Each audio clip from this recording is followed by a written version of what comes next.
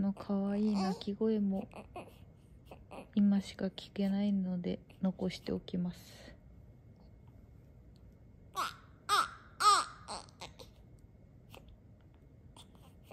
赤ちゃんの鳴き声に動じない小春。卵ベッドで今日もすやすや寝ております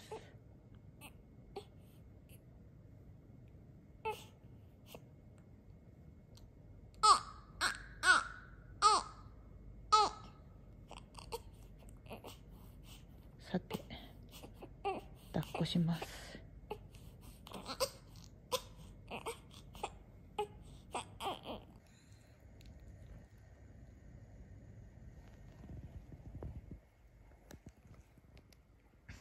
こっちも抱っこしたら寝ました。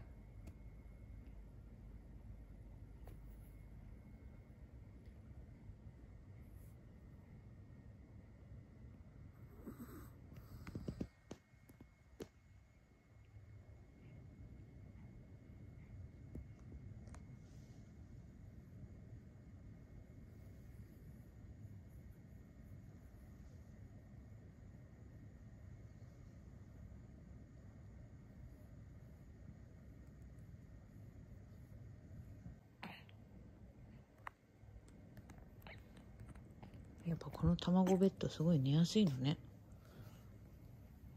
おやすみ卵プラス。いやすごいわ。効果抜群。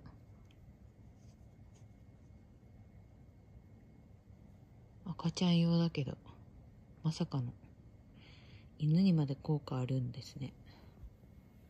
小春先生。ほんと気持ちよさそうに寝てる。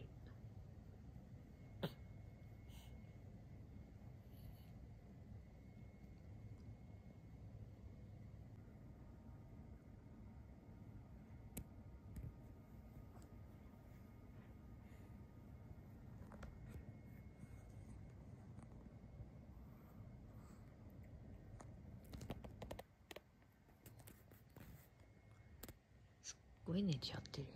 よもう伸びちゃったよ。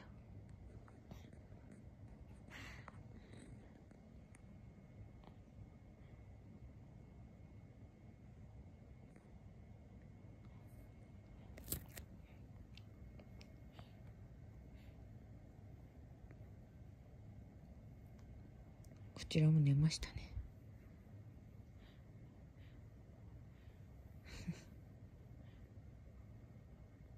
いいことだ。たくさん寝てたくさん食べてたくさん遊んで。幸せね子たち。